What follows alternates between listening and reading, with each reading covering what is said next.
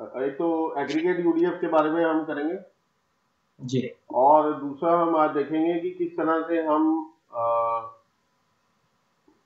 Different masters में अपने UDF add कर सकते हैं। जैसे स्टॉक आइटम में कुछ करना है या लेजर में कुछ करना है एडिशनल फ़ील्ड मुझे लगाने हैं।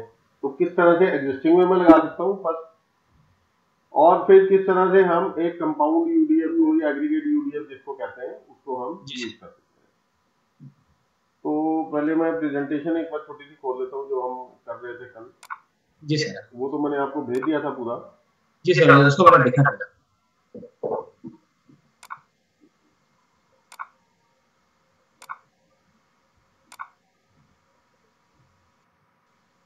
सर मैंने टैली का जो पावर देखा सर मेरा एकदम मतलब बहुत सारा मज़ा आ गया।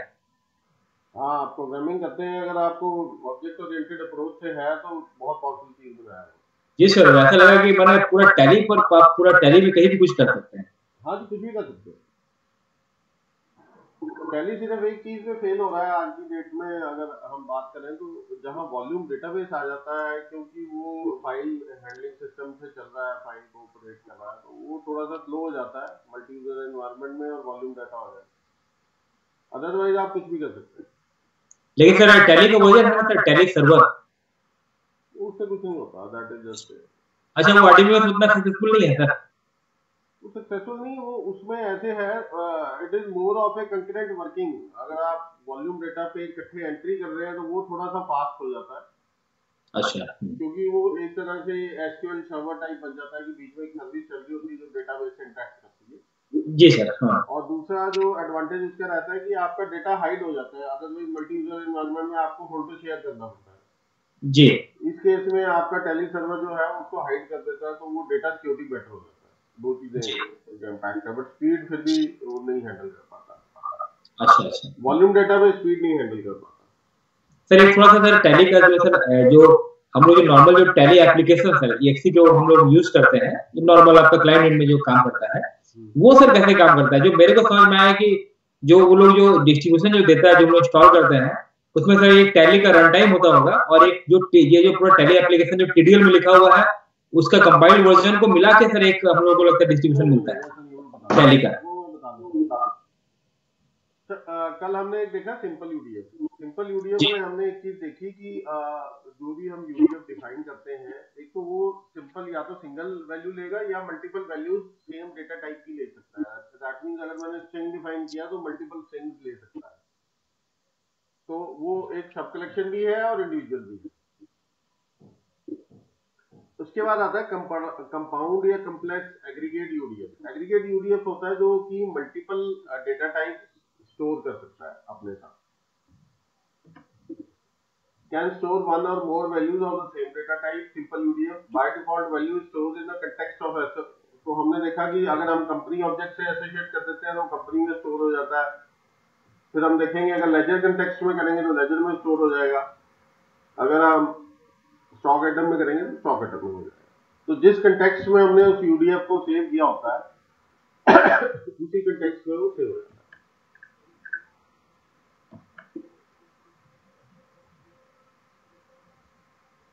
तो ये भी हम कल, हमने देखा कि मल्टीपल वैल्यूज़ हम कैसे ले सकते हैं।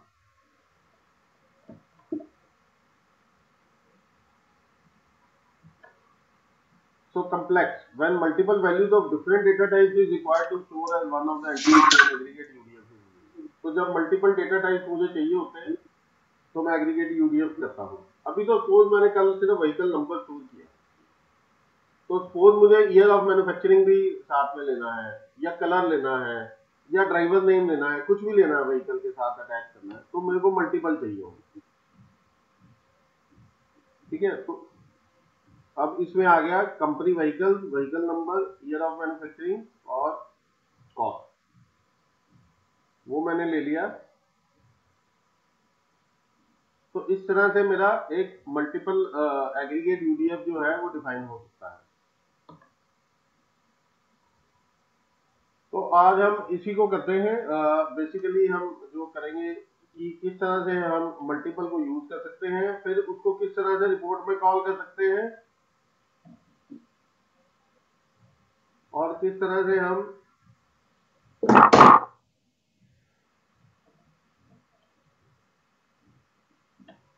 उसको यूज़ कर सकते हैं, आगे एज ए कलेक्शन या एज ए टेबल या कहाँ पे लिस्ट दिखा सकते हैं, किस तरह से उसको यूज़ कर सकते हैं। तो सबसे पहले हम डेफिनेशन पे चलते हैं आज का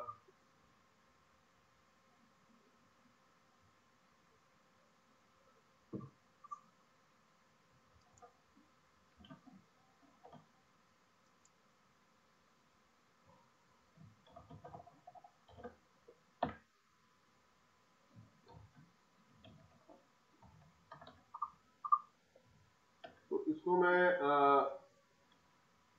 व्हीकल नंबर को यहीं रहने देता हूँ।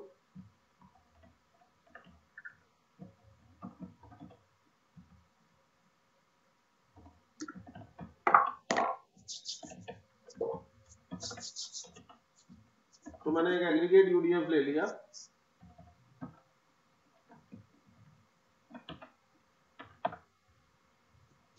नाउ इंडेक्स हर डेटा टाइप में सेम ले सकते हर डेटा टाइप का इंडेक्स यूनिक होना चाहिए। आपका string two twenty one thousand one है और एग्रीगेट भी ट्वेंटी वन थाउज़ेंड वन है तो दोनों एक सेपरेट इंडेक्सेस है।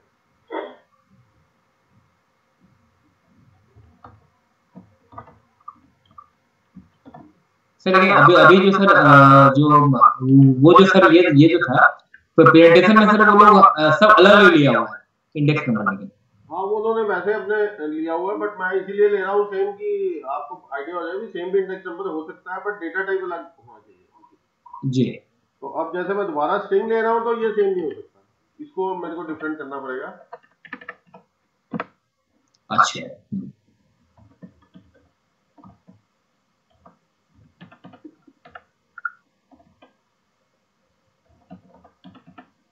इसको मैं फिर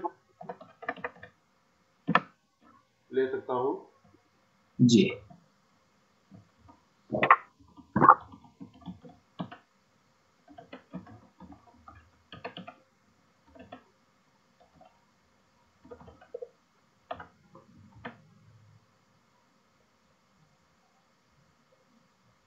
तो अ,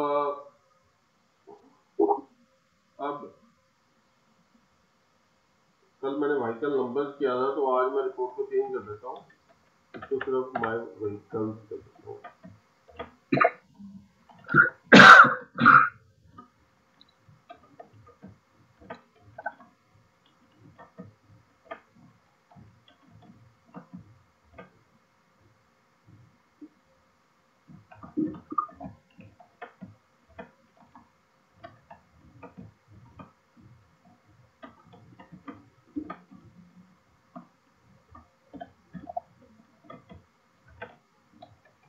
ये आप स्टैंडर्ड में नेमिंग कन्वेंशन एक्चुअली सिंस मैं प्रोग्रामर रहा हूँ तो मेरे को नेमिंग कन्वेंशन की आदत है नहीं तो आप कुछ भी नाम रख सकते हैं।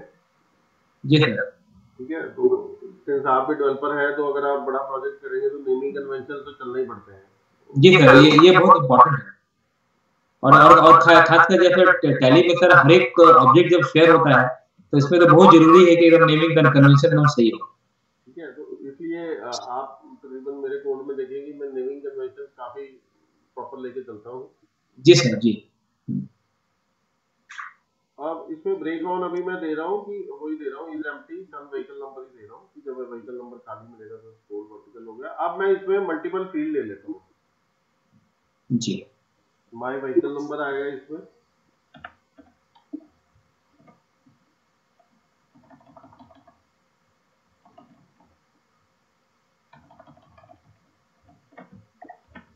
आप रिपीट में देखेंगे रिपीट में मैंने एग्रीगेट दिया है। जी। रिपीट में जो मैंने एग्रीगेट लिया है वो वाला यूडीएफ दिया है। जी।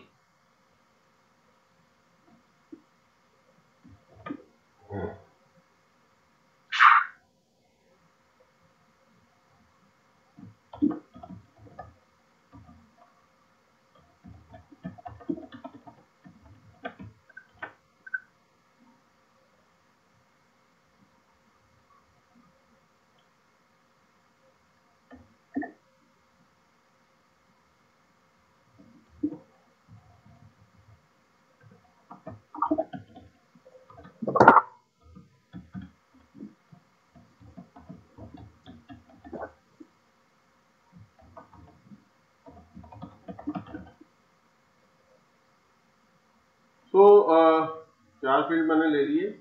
मैं इन चारों को यहाँ डिफाइन कर लेता हूँ।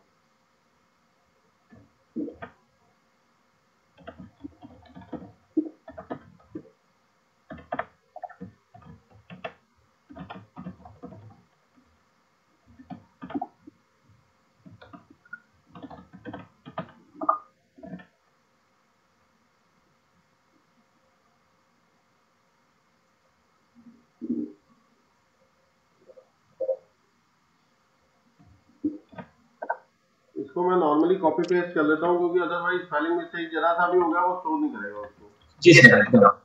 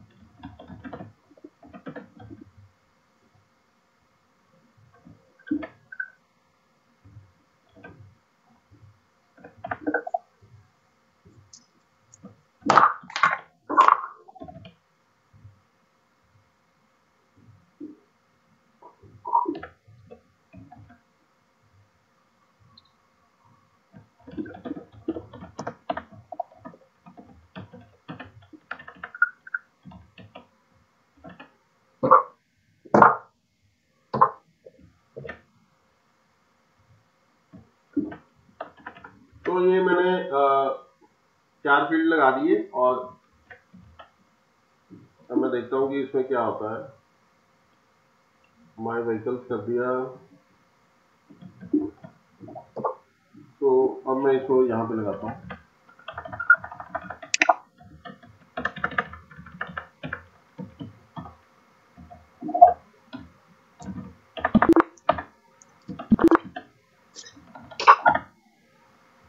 ठीक है अभी मैं अगर चार लगा रहा हूँ तो आप देखें चार आ रहे हैं लेकिन क्या है ऊपर क्या है मुझे पता नहीं है। तो मैं इससे बना देता हूँ। So that I am able to know कि क्या क्या ऊपर आना है। क्योंकि अब चार बन गए हैं मेरे तो आई डोंट नो कि इसमें कहाँ पे क्या लिखना है तो मैं प्रॉपर है कि टाइटल लगा दूँ।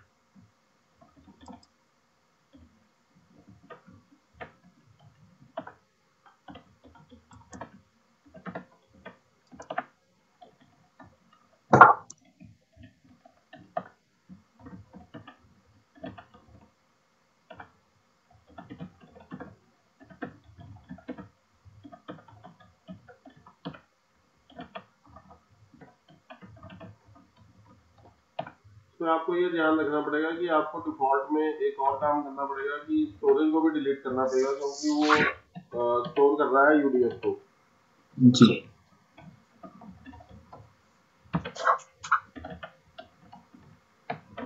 तो डिफ़ॉल्ट में आप सबकी स्टोरेज डिलीट कर देंगे क्योंकि टाइटल है ना ये। जी।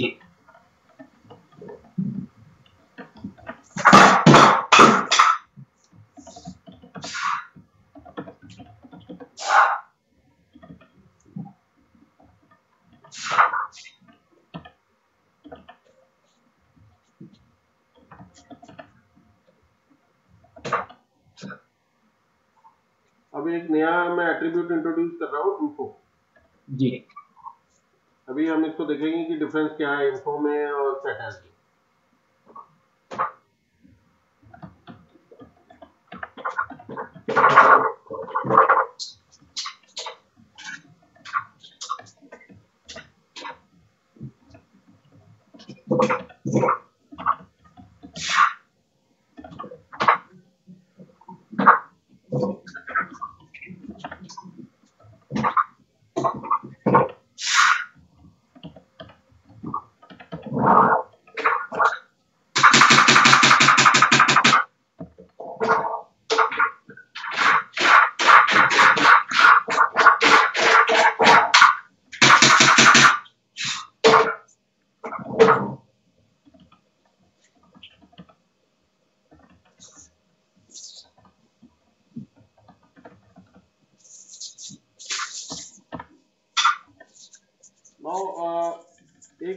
में से इसको मैं सेटल कर रहा हूँ।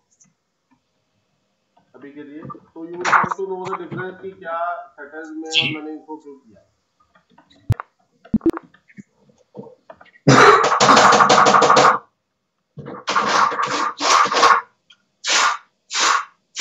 नाउ इधर साइकिल नंबर आ गया। जी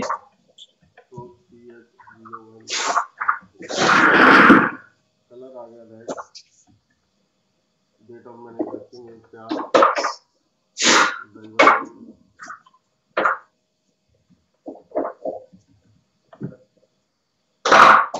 अब एक मेरे को चेक चाहिए कि बेसिकली तो मैंने एक नंबर दो बार ले सकता हूँ तो मैं चाहता हूँ कि यूनिक रहे जी मैं चाहता हूँ कि ये यूनिक रहे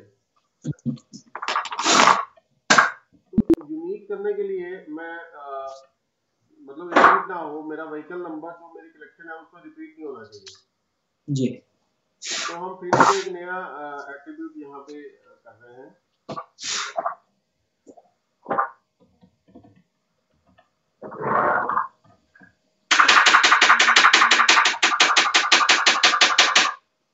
ओके जी तो यूनिक अगर मैं यस कर दूँगा और सॉरी मैंने कलर पे कर दिया व्हीकल नंबर पे यूनिक कर देता हूँ तो अभी क्या होगा अभी अगर मैं इसको लिखता हूँ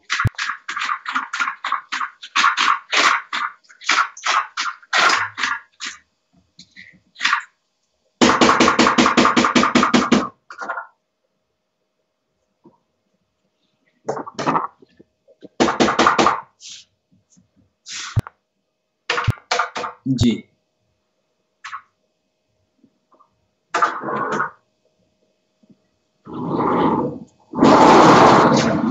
अ, ये तो हो गया मेरा कि मैं इसको जी। green कर देता हूँ और ये रेड कर देता हूँ इसको खाली छोड़ देता हूँ इसको डीपीएस कर देता हूँ तो इस केस में मेरा डेट ऑफ़ मैन्युफैक्चरिंग खाली रहेगा जी। तो अब मैं चाहता हूँ कि मेरा डेट ऑफ़ मैन्युफैक्चरिंग जो है वो खाली ना रह पाए। अब आप देखें ये मैं इधर से इधर इधर अब ये खत्म होगा। मेरी दो प्रॉब्लम है। मैंने तो लगा दिया ब्रेक ऑन ब्रेक ऑन जब व्हीकल नंबर एम्प्टी है। तो ये तो मैंने खाली छोड़ दिया तो कर्सर यहाँ आ गया यहाँ आ गया यहाँ आ गया। इसके बाद ये एग्जिट कर रहा है जी एक्चुअली तो अगर मैंने खाली छोड़ दिया तो वहीं पे एग्जिट हो जाना चाहिए। जी। यहाँ एंटर किया तो एग्जिट हो जाना चाहिए क्योंकि मैंने आगे तो इसका मतलब एंट्री नहीं डालनी है। जी। जब व्हीकल नंबर ही नहीं डाला अगर मैं उसको ब्रेक तो अगली नहीं जाना चाहिए। दैट इज़ फ़र्स्ट सिनेरियो दूसरा मैं चाहता हूँ ये डेट ऑफ़ मैन्युफैक्चरिंग खाली नहीं रहना चाहिए। तो उसके लिए मैं एट्रीब्यूट्स इंट्रोड्यूस कर रहा हूँ तो डेट ऑफ़ मैन्युफैक्चरिंग पे एक और होता है दैट इज़ डेट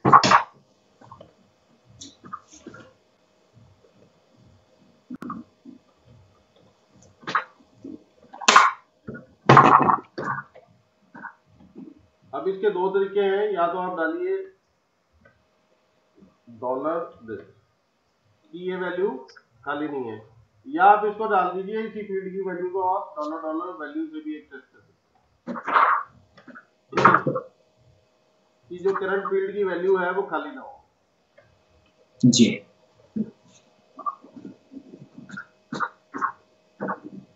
और दूसरा मैं चाहता हूँ कि जब ये खाली हो तो कर्सर यहाँ पे ना जाए। जी। जब व्हीकल नंबर मेरा खाली है तो कर्सर ना जाए तो उसके लिए मैं इंट्रोड्यूस कर रहा हूँ इनएक्टिव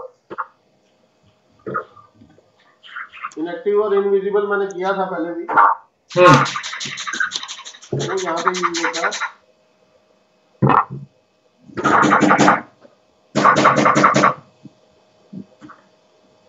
तो व्हीकल नंबर को छोड़ के बाकियों पे मैंने लगा दिया कि अगर इनसे खाली है व्हीकल नंबर तो आप इसको इनएक्टिव कर दीजिए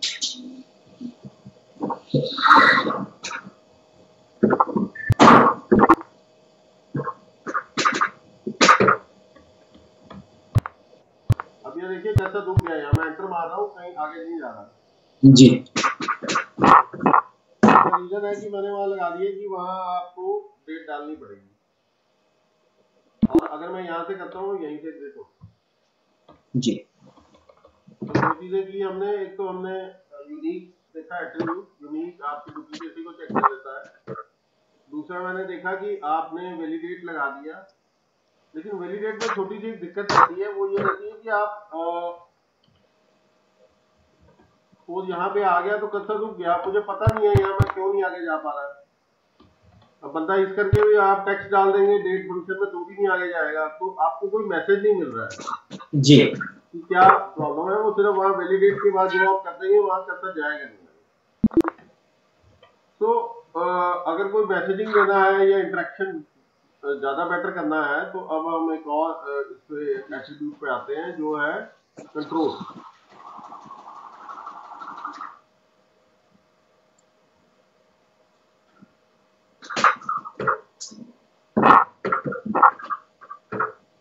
तो मैं वैलिडेट को भी कमेंट कर रहा हूँ, और यहाँ पे एक और ऐड कर रहा हूँ कंट्रोल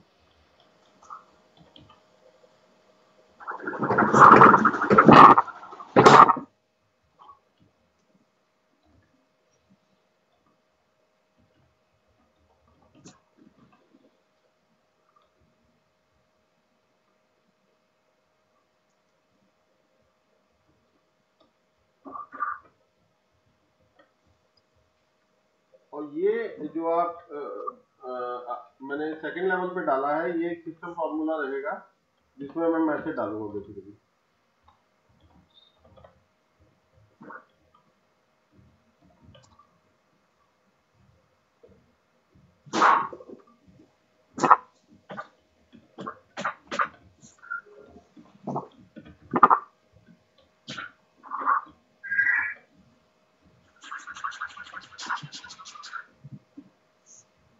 तो अब मैंने उस एट्रीब्यूट को चेंज कर दिया और उसको एक कंट्रोल बना दिया।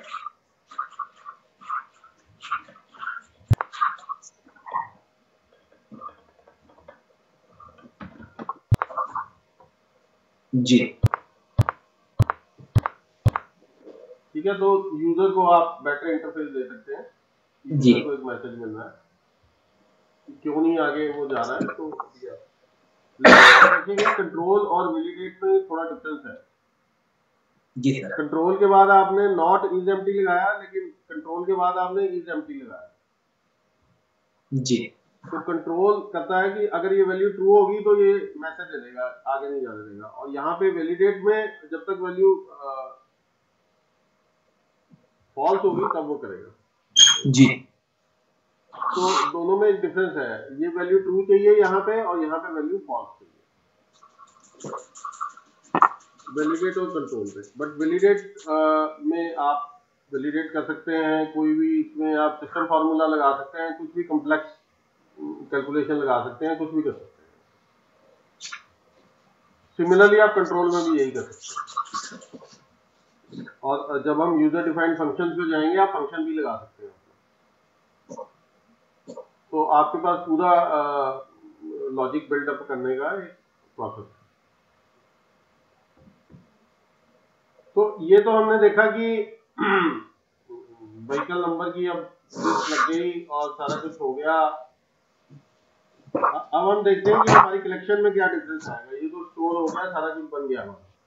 व्हीकल नंबर हमारे लगने शुरू हो गए और आ, मैं दो तीन व्हीकल नंबर बना देता हूँ so that we are able to see कि क्या आ रहा है।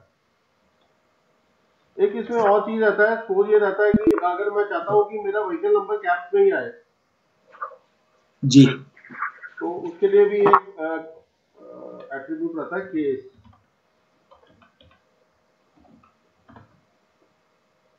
तो ऑल कैपिटल में कर दूँगा तो कैपिटल में जाएगा।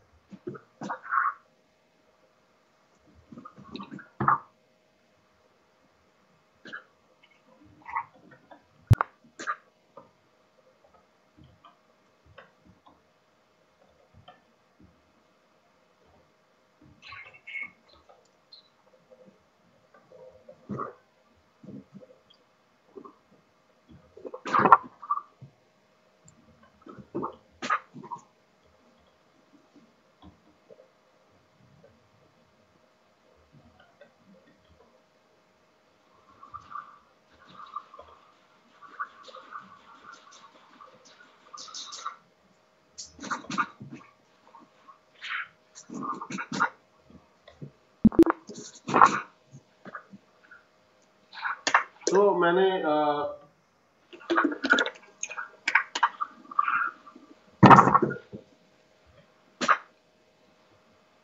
ये स्टोर कर लिए अगर मैं दोबारा देखूँगा तो ये दोनों तीनों स्टोर हो गए। नाउ अगर अब मैं इसकी कलेक्शन पे जाता हूँ जो हमने कलेक्शन बनाई थी कल व्हीकल रिपोर्ट में दिखाने के लिए माई व्हीकल कलेक्शन बनाई थी। तो इसमें तो पहला चेंज आएगा कि यहाँ एग्रीगेट नाम आ जाएगा। कि rather than using a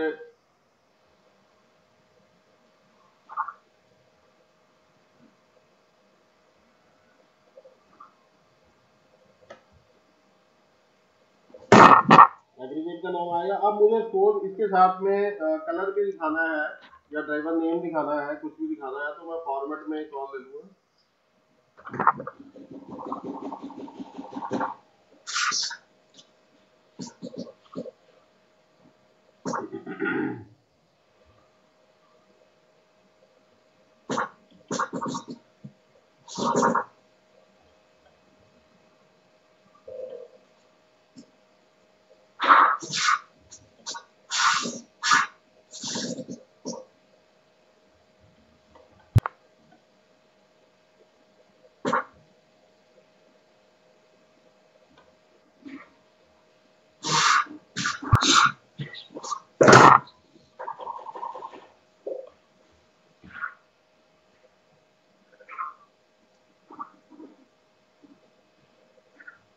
है कलर भी आना शुरू हो गया था जी। बाकी कौन से नहीं आ रहे थे? जितने आप फॉर्मेट में डालेंगे वही आएँगे। अच्छा। जो आप कल भी हमने वो फॉर्मेट नहीं डाला था इसलिए नहीं आया जी। तो जो हम फॉर्मेट में डालेंगे कलेक्शन तो पूरी है। अगर मैं रिपोर्ट डालूँगा रिपोर्ट में मैं सब कुछ एक्सेस कर सकता हूँ। जी। लेकिन जो टेबल होगा टेबल में जो फॉर्मेट में लिया होगा वही आएगा।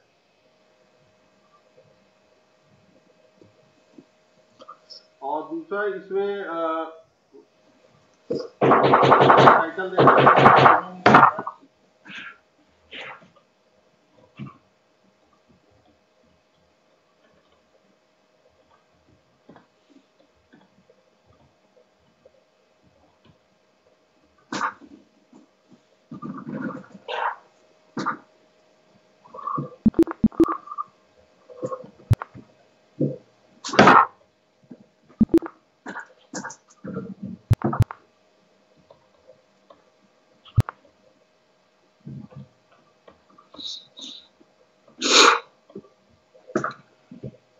ऊपर देखिए लिस्ट ऑफ़ व्हीकल्स आने लग गया।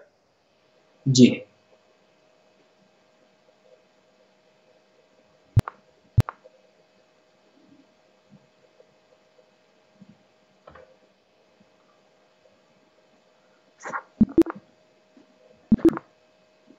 वैल्यू जो भी पहले नंबर पे फॉर्मेट में रहेगा वो स्टोर हो जाएगा अब इसमें सपोज़ कोई अ, मैं चाहता हूँ यूज़र कहता है कि नहीं व्हीकल के नंबर की लिस्ट तो आ जाए लेकिन मेरे को हो सकता है कि व्हीकल नंबर हो ही ना एप्लीकेबल ही ना हो मैं बाय रोड भेज रहा हूँ बाय रिक्शा भेज रहा हूँ तो व्हीकल नंबर नॉट एप्लीकेबल आ जाए उसके तो नॉट एप्लीकेबल करके कलेक्शन रहती है आप उसको यहाँ टेबल में जब आप मैंने टेबल लगाया था किसी पे कॉमा लगा के लिख दूँगा कि मेरे को नॉट एप्लीकेबल चाहिए।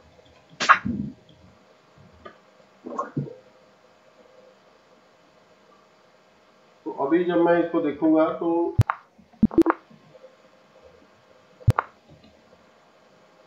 अब जो आप सिस नेम कह रहे थे ना कि सिस नेम कहाँ यूज़ होता है तो वो ये सिस नेम नॉट एप्लीकेबल जो है वो सिस नेम है। अच्छा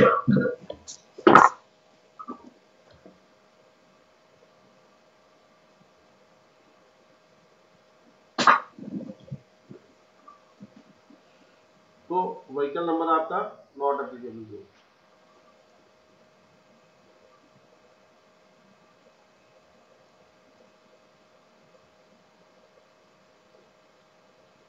अब छोटी सी एक दिक्कत और है कि यूज़र मेरे को कहता है कि नहीं मेरे को तो ये भी हो सकता है कि कोई नया व्हीकल नंबर आ जाए। ये चार व्हीकल तो मेरे अपने हैं। ये चार व्हीकल तो मेरे पास या छह व्हीकल तो अपने हैं। कई बार मैं ट्रांसपोर्ट से गाड़ी ले लेता हूँ। तो मेरे को एक नया नंबर पे डालने की ऑप्शन है लेकिन वो मेरा नहीं है लेकिन वो मैं उसी वक्त डाल सकूँ। जी। तो अब उसके लिए क्या करना पड़ेगा? उसके लिए उसके लिए कैसे करेंगे? उसको आपने कहीं देखा है टैली में ऐसा होता ऐसा ऐसा तो ध्यान नहीं आ रहा था लेकिन नॉर्मली हम लोग एक कस्टम का ऑप्शन लेते हैं फिर कस्टम कीवर्ड मिलने पर फिर या फिर उसका आईडी मिलने पर हम लोग सर मैनुअली एंट्री ले लेते हैं। हाँ तो टैली में तो कई जगह यूज़ होता है जी सर। टैली में तो आपका आप देखेंगे जब आप आ, मैं आपको बताता हूँ आप जब सेल इनवॉइस काटते हैं आप डिलीवरी नोट नंबर पे जाएँगे। ऑर्डर नंबर अगर आप यहाँ डाल देते हैं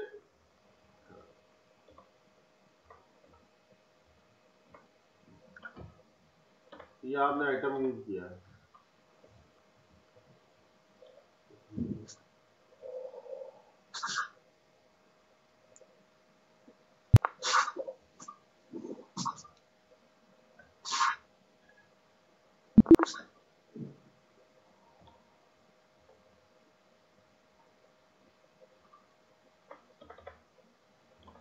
अगर आपके डिलीवरी नोट और ट्रैकिंग नोट अवेलेबल होते हैं तो एक विंडो खुलती है जब आप आइटम सेलेक्ट करते हैं। जी। ये विंडो खुल गई? अब ये देखिए ट्रैकिंग नंबर आ रहा है नॉट एप्लीकेबल आ रहा है और एक न्यू नंबर आ रहा है। आप न्यू नंबर डाल के यहीं पे नंबर डाल सकते हैं। जी। तो इसको फीचर को हमने देखना है अभी हम यहीं पे न्यू नंबर डाल दें। और जी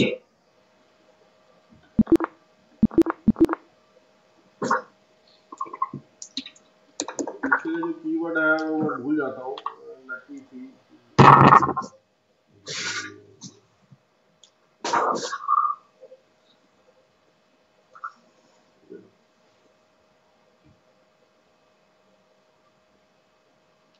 सिलेक्शन में तो न्यू नंबर हम ऐड कर देंगे, लेकिन उसको वहाँ पे कैसे करेंगे? जस्ट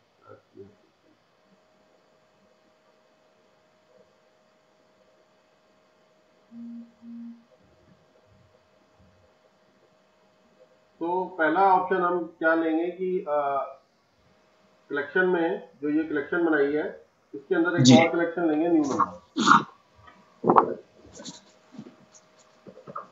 तो अब अगर मैं यहाँ जाता हूँ तो मैं देखूँगा कि मेरा न्यू नंबर आना शुरू हो गया।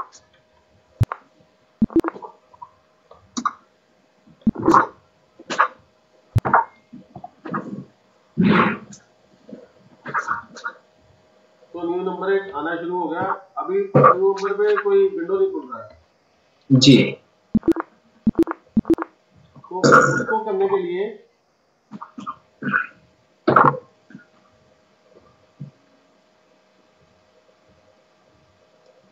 दो क्लॉज मेरे को चाहिए होगा ये दो। जी ये ना भी दूँगा मैं तो भी हो जाएगा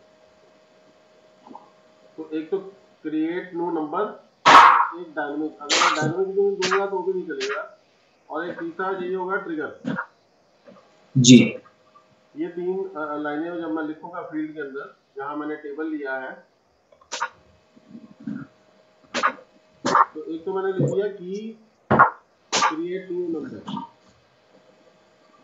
उसके बाद दिया डायनेमिक उसके बाद ट्रिगर न्यू नंबर पे ये एक स्टैंडर्ड टैली ने दिया हुआ कोड आपको फ़ील्ड में लगाना है। जी। तो जब आप ये तीन चीज़ें लगाएँगे तो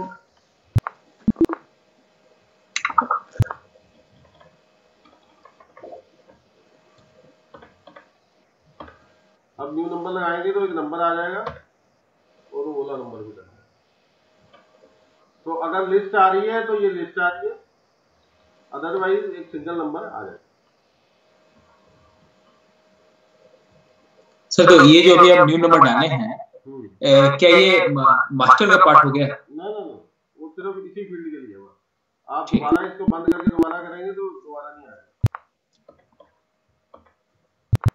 वो पार्ट ऑफ़ द लिस्ट कभी भी नहीं रहेगा।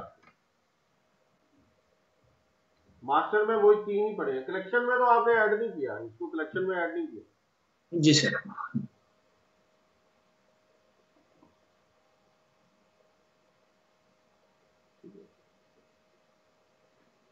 तो मैंने काफ़ी एस्पेक्ट इसमें क्लियर डाल दिए हैं। आज हमने यूनिक किया क्लॉज इसके बाद हमने वैलिडेट किया कंट्रोल किया न्यू नंबर किया नॉट अप्लीकेबल किया छोटी सी चीज़ें और रहती है कि अभी तक जो मैंने ये बनाया ये कलेक्शन अलग से बनाई है। अब सपोज़ मुझे स्टॉक आइटम पे कुछ चाहिए इन्वेंटरी इन्फो में जब मैं स्टॉक आइटम क्रिएट करता हूँ। उसमें मुझे कलर डालना है। जी। वो यूनिट्स के नीचे कलर डालना है। मुझे स्टॉक आइटम का एट्रीब्यूट ऐड करना है कलर जी। तो पहले मैं देखता हूँ, ये एस टी के आई पेरेंट है। ये एस टी के आई यूनिट है मेरे तो लेट मी फाइंड कि एस टी एस टी के आई पेरेंट कहाँ मिलेगा मुझे?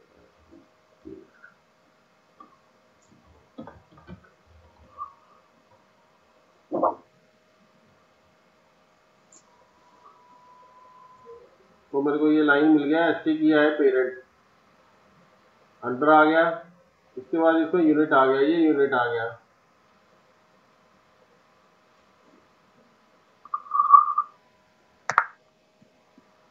ठीक है, इसके बाद बैचिस का कुछ आ रहा है। आप देखिए, इस पार्ट में अगर मैं इसको ऐड करना चाहता हूँ तो इस पार्ट में मैं ऐड कर सकता हूँ इसको। तो उसके लिए सबसे पहले मैं एक यूडीएफ और बना देता हूँ। सन एस स्टॉक कलर मैंने पहले लिया हुआ है इसलिए मैं इसको एक अलग नाम लेना पड़ेगा मेरे को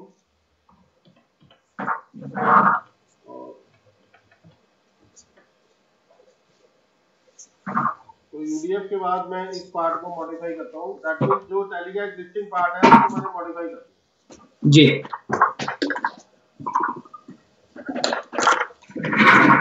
और इसमें वहाँ मैं लिख देता हूँ एड लाइन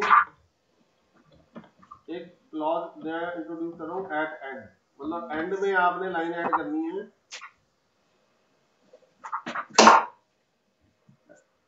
सन एस टी के आई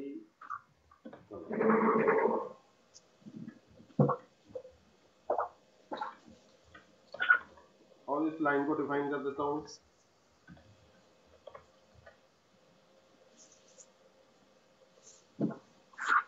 Nós pronto,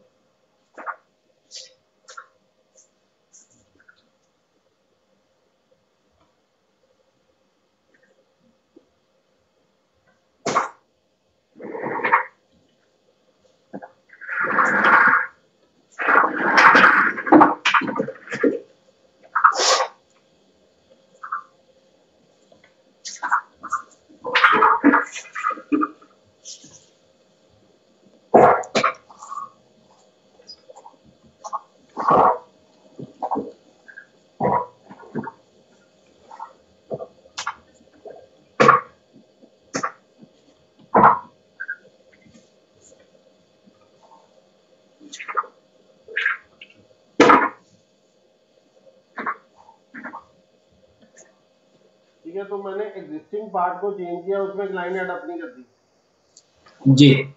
और उसमें कलर स्टोरेज बना ऐड कर दिया अब मैं देखता हूँ कि टैली में कैसे बिहेव करता हूँ।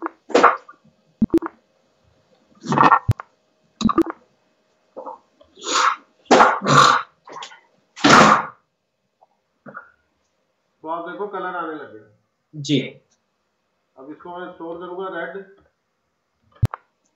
और दोबारा खोलूँगा तो ये रेड स्टोर होगा।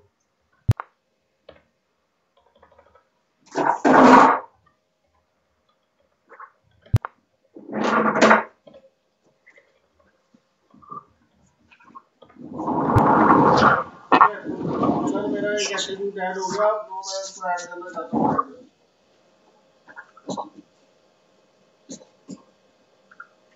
ठीक है तो एग्जिस्टिंग में ऐड करने के लिए ये तरीका है। जी। और एक नए सिरे से कलेक्शन बना के हमने एग्रीगेट देखा कि ये है। सर ये जो वहाँ पर जो कलर आया है हम्म। क्या उसी जगह में हम कलर का जो डिफरेंट मास्टर को डाल सकते हैं क्या? कलर का अलग से मास्टर बना लो वहाँ पे यहाँ पे टेबल बना लो अच्छा। आप एक कलर का अलग से मास्टर बना लो और यहाँ पे टेबल लगा के उसको दिखा दो तो अलग से मास्टर से आ जाएगा। जी। यही आपकी एक्सरसाइज है दादा जी सर। ठीक है? आपने कलर बनानी है और उसमें फिर नॉट एप्लीकेबल और new number new colour new number लेके कलर की भी ऑप्शन बना लेंगे।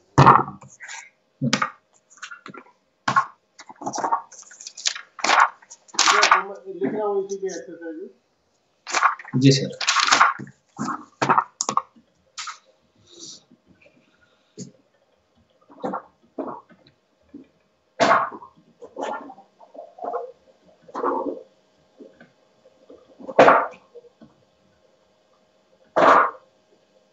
पहले तो आपने कलेक्शन बनानी है जो कलर की बनेगी उसके बाद आपने सेकंड नंबर पे क्या करना है कि ऐड फ़ील्ड कलर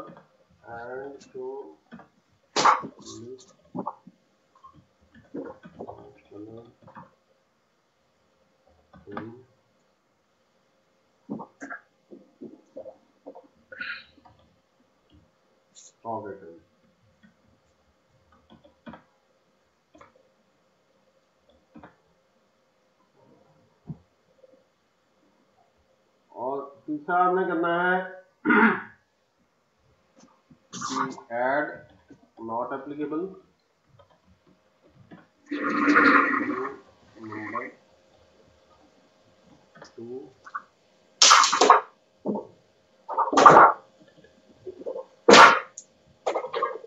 जो आप list of colour stock item में लेंगे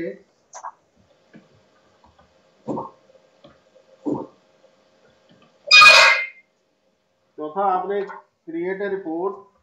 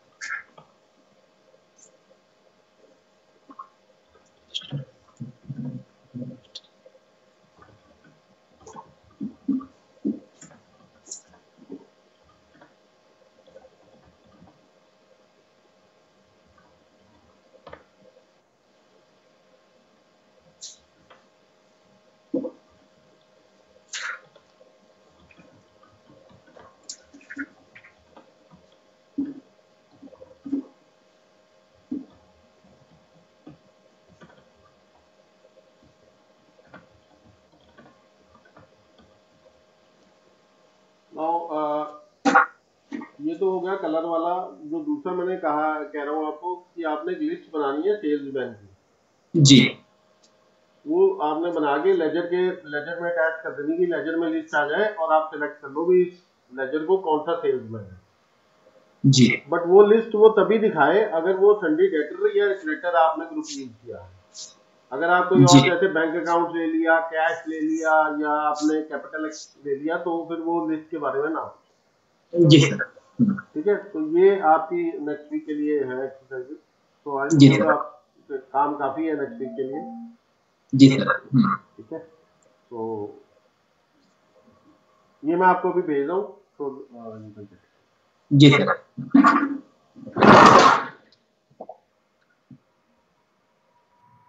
you